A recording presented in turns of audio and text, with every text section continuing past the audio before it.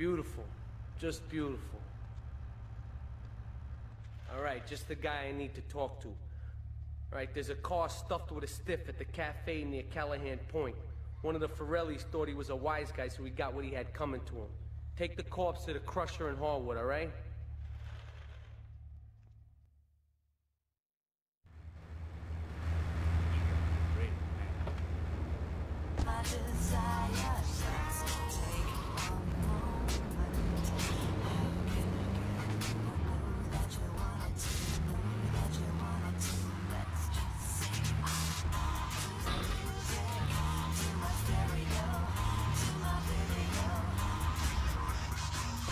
So I'm sitting here reading the Liberty Tree, and it says in nearby Carcer City.